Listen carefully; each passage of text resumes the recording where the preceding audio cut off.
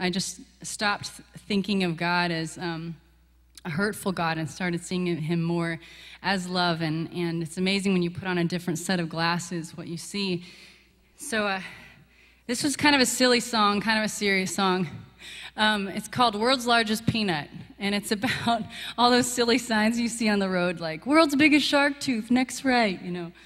And we used to go on trips with my grandparents in their motorhome when I was a kid, and uh, we would go visit some of those places sometimes. So I have a fondness in my heart for it. So this is a true story.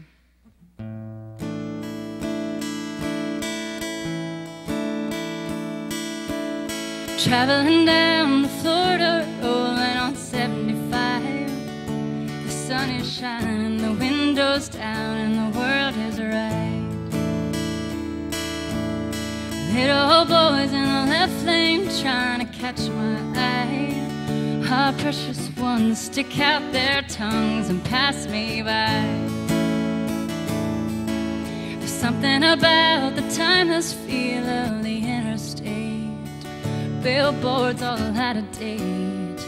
Shampoo from 1948. Fruits dancing in skies, they ride along with me. The drive is worth it to me.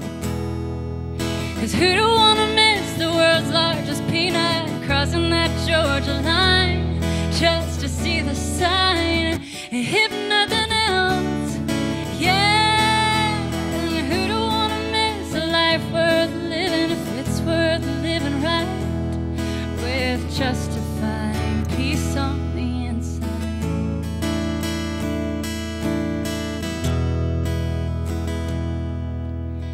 Miles and miles of spring rain glitters on the hillsides, and what couldn't grow has now been told that it's alright. Nancy Griffith's in the tape deck singing about the simple life The song is sad, but she seems happy. I think she's right.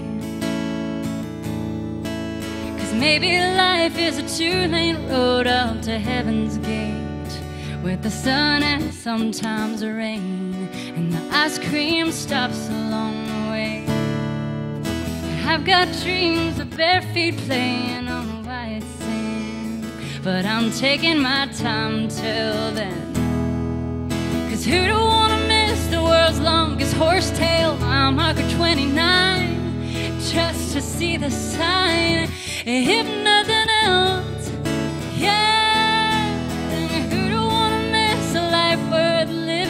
it's worth living right with justifying peace on the inside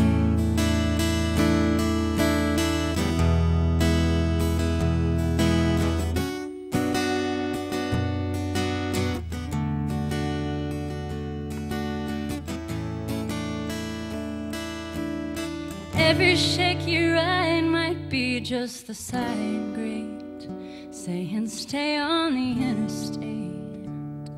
So much joy this way, so much joy. Like who don't wanna miss the world's biggest string ball, two miles on the right, just to see the sign. Else.